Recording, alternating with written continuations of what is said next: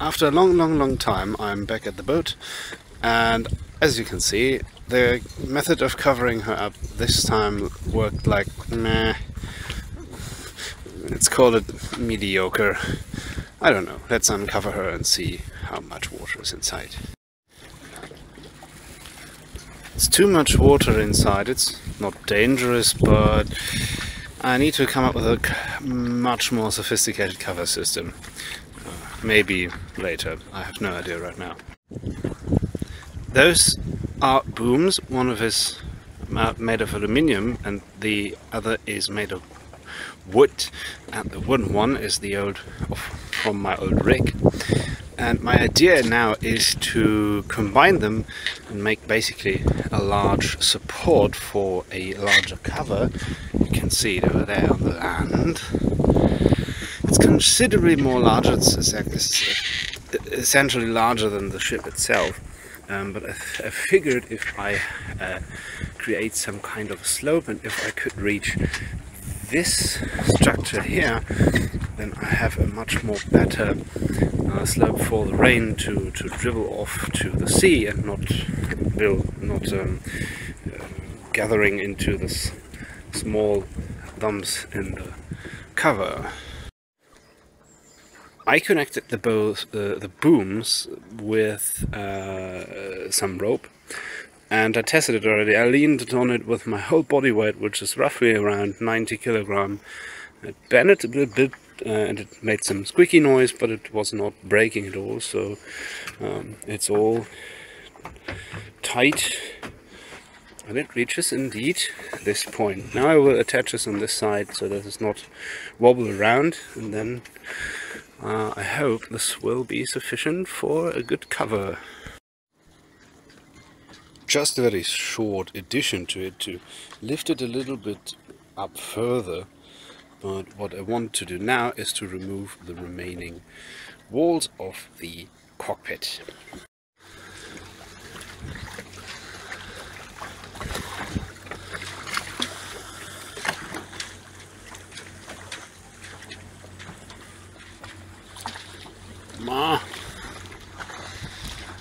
Some rough sea in the harbour.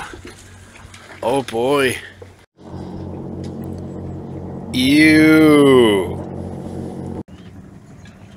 I marveled why it is so hard to remove this piece of this is actually hardwood this is plywood and here's the answer hardwood is glued to a layer of glass fiber and this glue connection is quite solid so it will come off that easy.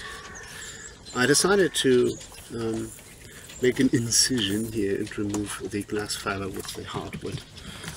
Let's see if this works out. Uh, it was too tedious to to basically make incisions just with a small bite here. So I decided to drive it like a wedge between the hardwood and the fiberglass and then slowly pull it from the fiberglass and it apparently it worked quite well. So next step the plywood. I think it is better to remove the weather deck now and then this plywood because it goes pretty deep in there and I think it is not so easy to pull it just out. I think there may be some screws in it or some uh, bedding compound, I don't know. So let's try to remove this portion of the weather deck. Oh, and of course, first I have to remove the clamps and maybe some of the fittings.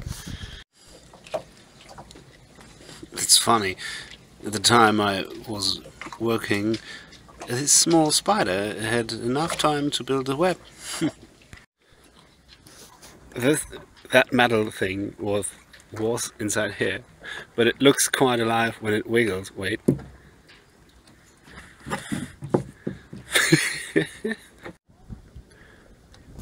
it is not that difficult to remove the plywood. The the nails are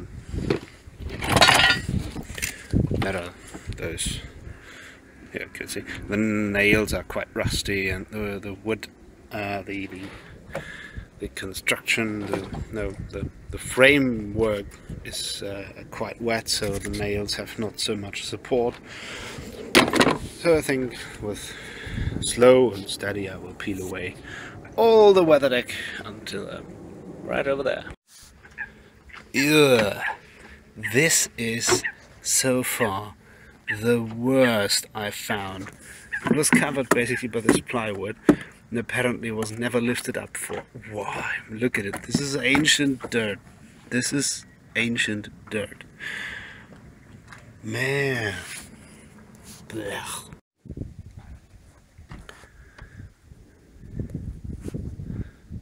let's adjust the brightness. Wonderful. As you can see, it is freaking dark. And what's over here is so nasty that I can't make any sense of. Here are, I think those are um, similar materials to that what I'm still marveling about what is really what it really is.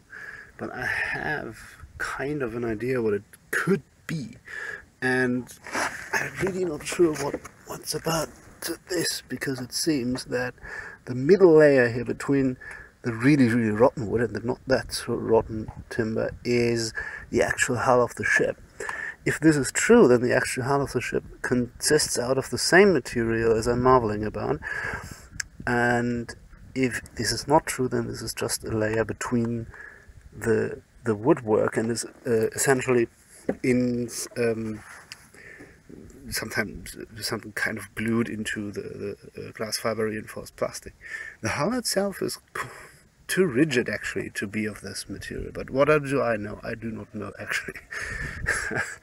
okay, it's going, it's going dark, and therefore I decide to leave it for now in this uh, state, and I will uh, get rid of the garbage into a nice sack and I will cover the boat with the much much longer cover.